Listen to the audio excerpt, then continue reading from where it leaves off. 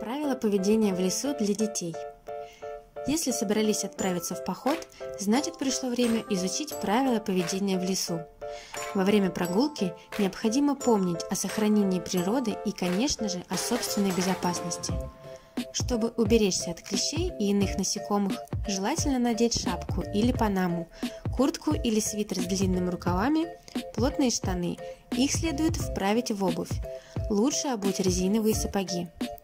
Также нужно воспользоваться специальными кремами и мазями от укусов насекомых. Обязательно иметь при себе запас воды хотя бы на сутки. Не стоит забывать о средствах личной гигиены. Необходимо запомнить, как вести себя в лесу.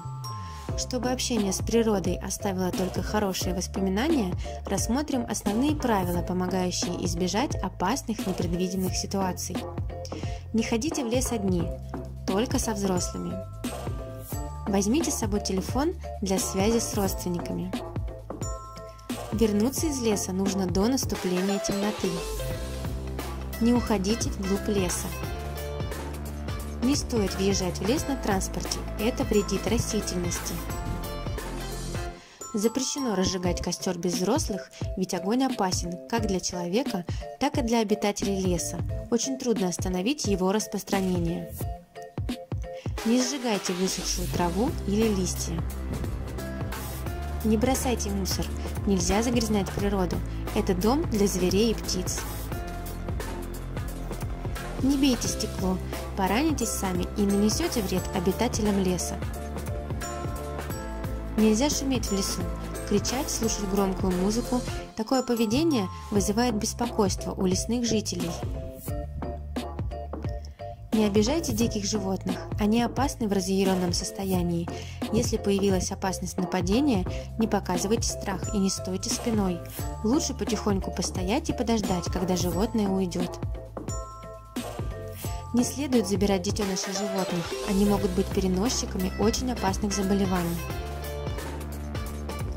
Не трогайте гнезда птиц, птенцов, яйца, ведь птицы могут оказаться в опасности. Вы можете привлечь внимание хищников, также никогда не уносите с собой птенцов, они не смогут выжить в неволе. Не разрушайте муравейники. Муравьи – это санитары леса. Своей работой они приносят огромную пользу. Не ловите шмелей, бабочек, стрекоз, божьих коровок. Они опыляют растения и уничтожают вредителей. Погубив их, вы поставите под угрозу природу. Не вылавливайте лягушек и головастиков. Не убивайте пауков и не рвите паутину.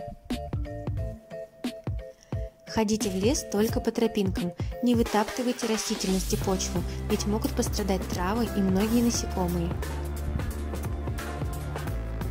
Не ломайте ветки кустарников и деревьев, не делайте памятных надписей на них, не обрывайте кору, не собирайте сок с берез, если не имеете нужных навыков. Берегите их и не наносите вред. Не срывайте цветы, тем более с корнем, ведь они не вырастут снова.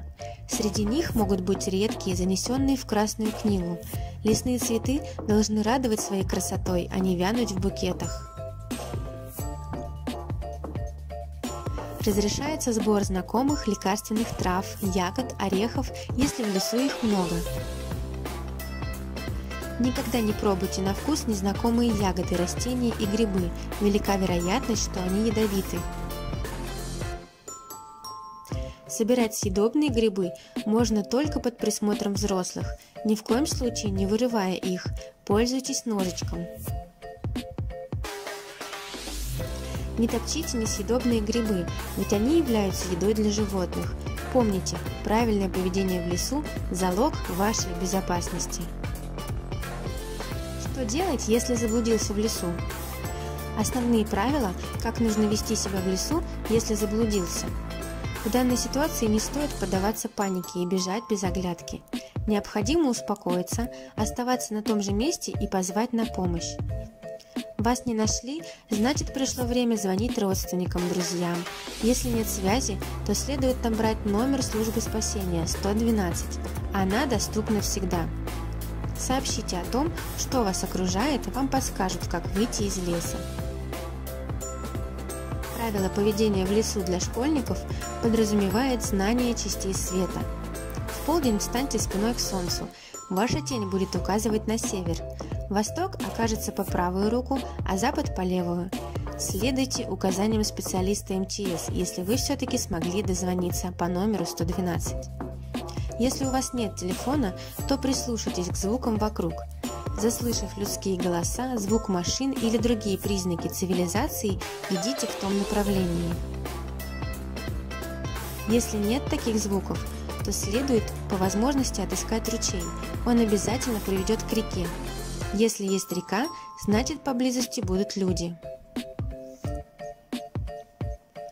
По пути следования оставляйте зарубки на деревьях или заламывайте веточки. Это укажет ваше направление спасателям и поможет вам, если вы будете ходить по кругу. Природа меняется, поэтому не стоит полагаться на расположение мха и муравейников. Попробуйте вспомнить, с какой стороны вы вошли в лес, в каком направлении двигались. Оглядитесь. Если увидели линии электропередач, то следуйте вдоль них. Не удалось выйти из леса и темнеет, готовьтесь к ночлегу. Необходимо сделать шалаш из веток и развести небольшой костер, соблюдая меры предосторожности. И лечь спать недалеко от костра. Думайте только о хорошем. Наступит новый день, и вас обязательно найдут.